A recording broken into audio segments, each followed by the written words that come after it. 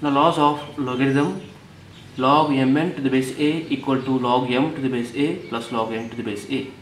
Okay. Now solution proof. Now we take log mn to the base a that is equal to x. Call this is equation number 1 and log m to the base a equal to that is y. Second equation and log n to the base a is that is z. That is third equation. Okay? Now from equation number 1 2 and 3 now taking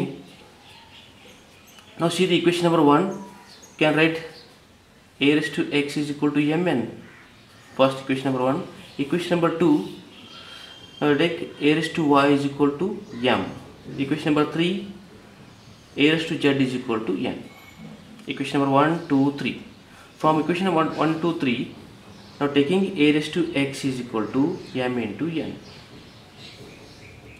you know the m m means this is a raised to y into n is a a raised to z or a raised to y plus z this is a raised to x is equal to a raised to y plus z now base is same both side. Therefore x is equal to y plus z.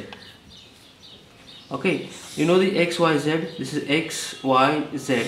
X is equal to log of mn to the base a is equal to log y is a log m to the base a plus z is a log n to the base a. Now this is a proof of laws of